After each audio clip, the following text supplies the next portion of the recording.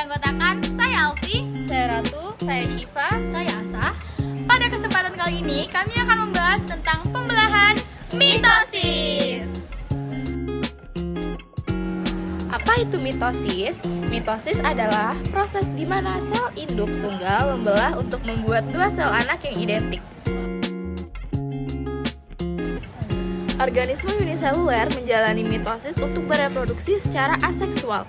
Organisme multiseluler menjalani mitosis untuk menciptakan sel-sel baru untuk pertumbuhan dan memperbaiki sel-sel tua.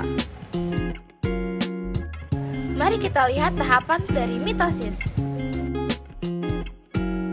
Pada tahap pertama yaitu interfase, sel bertambah besar dan mereplikasi DNA-nya untuk mempersiapkan pembelahan sel. Tahap ini terjadi sebelum mitosis dimulai.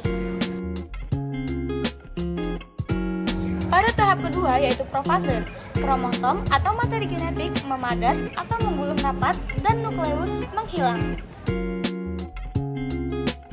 Oke, yang ketiga, metafase.